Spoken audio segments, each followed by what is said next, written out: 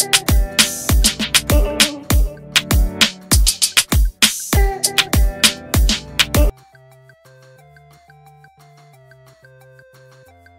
กตชี้เลือกตั้งนอกราชอาณาจักร แต่ละที่ไม่เหมือนกันต้องติดตามสถานทูตเอง กกตชี้เลือกตั้งนอกราชอาณาจักร แต่ละประเทศไม่เหมือนกันต้องติดตามข้อมูลจากสถานทูตเอง มีทั้งลงคะแนนผ่านไปรษณีย์ทางเดียว และเปิดคูหาวันที่ 28 เมษายน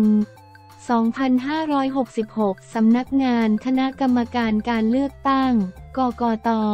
ได้ออกเอกสารเน้นย้ำผู้มีสิทธิเลือกตั้งนอกราชอาณาจักร ให้ติดตามข้อมูลข่าวสารรายละเอียด และวิธีการลงคะแนนเสียงนอกราชอาณาจักร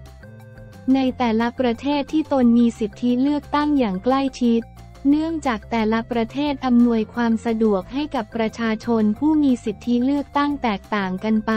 เช่นบางประเทศเปิดให้ลงคะแนนผ่านทางไปรษณีย์ได้ทางเดียว หรือบางประเทศมีการเปิดคูหาที่สถานเอกอัครราชทูต หรือสถานกงสุลใหญ่และสถานที่อื่น ๆ ได้แก่แคมป์คนงาน ดังนั้นผู้มีสิทธิเลือกตั้งนอกราชอาณาจักร ผู้มีสิทธิเลือกตั้งจะต้องติดตามข้อมูลข่าวสารว่า ประเทศที่ตนพำนักอยู่นั้นเปิดให้ลงคะแนนเสียงด้วยวิธีใด นอกจากนี้ในแต่ละประเทศยังกำหนดระยะเวลาการลงคะแนนเสียงที่แตกต่างกัน ซึ่งผู้มีสิทธิเลือกตั้งนอกราชอาณาจักรที่ตนพำนักอยู่จะต้องปฏิบัติตามขั้นตอนที่เอกอัครราชทูต หรือกงศูนย์ใหญ่กำหนดพร้อมทั้งตรวจรหัสเขตเลือกตั้ง 5 ตัว ซึ่งไม่ใช่รหัสไปรษณีย์ให้ถูกต้องครบถ้วนโดยผู้มีสิทธิเลือกตั้งจะได้รับซองสองแบบคือ 1. ซองใส่บัตรเลือกตั้งหรือสอสอเศษ5ส่วน2ซึ่งเป็นซองขนาดเล็กสำหรับใส่บัตรเลือกตั้ง โดยเจ้าหน้าที่กระทรวงการต่างประเทศได้จ่าหน้าซองให้ผู้มีสิทธิเลือกตั้งถูกต้องเรียบร้อยแล้ว ผู้มีสิทธิเลือกตั้งจะต้องนำบัตรเลือกตั้งที่กากบาทลงคะแนนเลือกตั้งแล้วพับใส่ในซองซองดังกล่าวนี้จะมีช่องให้กรรมการประจำหน่วยเลือกตั้ง เป็นผู้เซ็นชื่อกำกับตรงรอยปิดผนึกเพื่อยืนยันว่า ผู้ใช้สิทธิเลือกตั้งได้ใส่บัตรเลือกตั้งทั้งสองแบบเรียบร้อยแล้วสองซองใส่เอกสารหรือสอสอเศษ5ส่วน 21 นอน ซึ่งเป็นซองขนาดใหญ่สำหรับใส่ซองบัตรเลือกตั้งที่กากบาทลงคะแนนเลือกตั้งแล้ว และใส่สำเนาหลักฐานที่ใช้ประกอบการลงคะแนนเลือกตั้งที่ได้ลงลายมือชื่อรับรองความถูกต้อง เช่น สำเนาหนังสือเดินทาง สำเนาบัตรประจำตัวประชาชนเป็นต้นบรรจุในซองใส่เอกสาร พร้อมกับปิดผนึกลงลายมือชื่อกำกับตรงรอยต่อผนึกแล้วส่งคืนแก่เอกอัครราชทูตภายในเวลาที่กำหนด หากมีข้อสงสัยสามารถสอบถามข้อมูลเพิ่มเติมเกี่ยวกับการเลือกตั้งสส ได้ที่สถานเอกอัครราชทูตและสถานกงสุลใหญ่ของแต่ละประเทศที่ตนพำนักอยู่ต่อไป อ่านข่าวกกตพลาดอีกใบประกาศชื่อผู้สมัครเพื่อไทยติดทับ ผู้สมัครก้าวไกลชื่อพักผิดอ่านข่าวกกต รับพิมพ์ข้อมูลผู้สมัครคลาดเคลื่อน สั่งเช็คแล้วไม่ให้มีปัญหาอีกอ่านข่าวแก้ไขแล้วกกตแจงรายชื่อพักผู้สมัครไม่ชัดลั่นพร้อมจัดเลือกตั้งให้สุจริต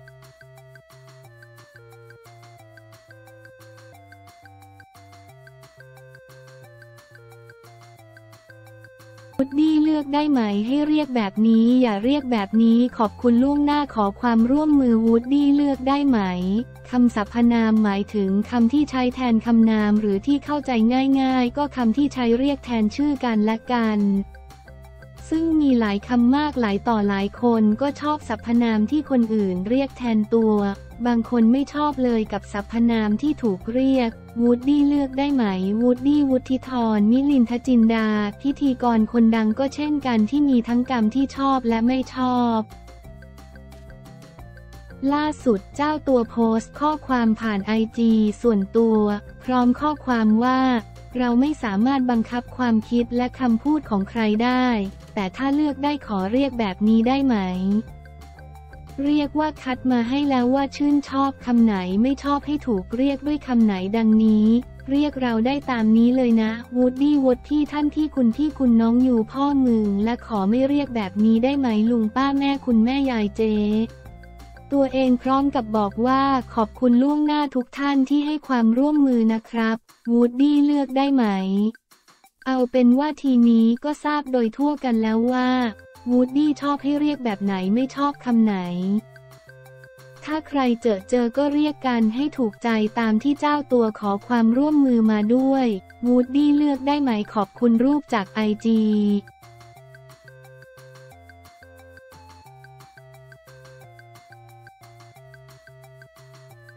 แมทแคปชั่นเด็ดหลังเปิดใจเลิกสงกรานคนบันเทิงมาเต็มโบ เมลดาโผล่เมนต์ลั่นปิ่นก้าวนิวเคลียร์ คนบันเทิงแห่มาเต็มให้แมทในรอบหลายปีเลย แมทพีรณีโพสต์แคปชั่นเด็ดหลังประกาศเลิก สงกราน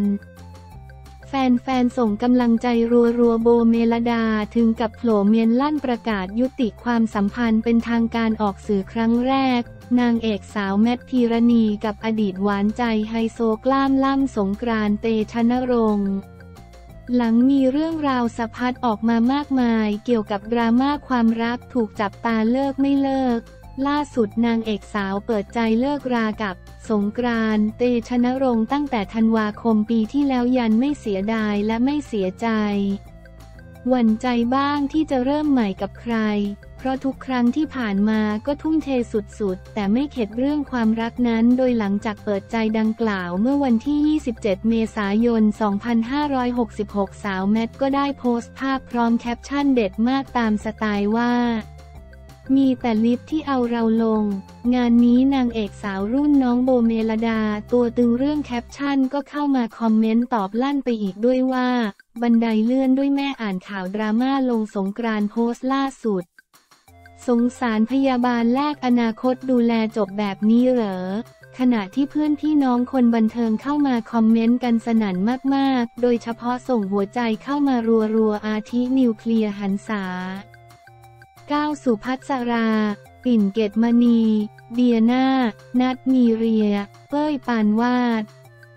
มิวนิษฐาก็ส่งหัวใจรัวๆ ด้านแฟนคลับคอมเมนต์กันล้นหลามด้วยข้อความกำลังใจ อาทิรักมากเลยให้กำลังใจตั้งแต่ 5 ปีที่แล้วจนวันนี้สั่งสบู่มาใช้จะไปร้านกาแฟแต่ไม่ไปแล้วค่ะ คุณแมทไม่อยู่ อยากให้คุณแมทมีวันที่ดีเชื่อมั่นในตัวคุณแมทตลอดคนเราไม่ควรโดนด่าจากคนไม่รู้จัก จากนี้ฟ้าหลังฝนขอให้คุณแมทมีความสุขกลับมาปังมาสดใสน่ารักเจอ แต่สิ่งดีๆ เจอคนที่คู่ควรนะคะ ชอบที่แมทบอกว่าเลิกกันไม่ใช่ เพราะมือที่สามมันดูเท่มากๆเลยค่ะ ดูเป็นผู้หญิงแบบแมนแมนๆมากเลยค่ะ ดูแบบไม่โยนความผิดให้ใครดูแบบไม่ทำตัวเฉยๆกับคำถามแล้วให้คนอื่นคิดไปเอง แล้วไปถล่มอีกคนชอบแมทที่เป็นแบบนี้ คนเราไม่รักกันไม่แคร์กันก็ปล่อยกันไปดีกว่า ดีใจที่เดินออกจากผู้ชายแบบนั้นได้นึกถึงตอนคุณแมทดูแลเขาตอนเขาป่วยอยู่โรงพยาบาล และนี่คือสิ่งตอบแทนที่ผู้ชายคนนั้นมอบให้คือเลิกกัน เป็นต้น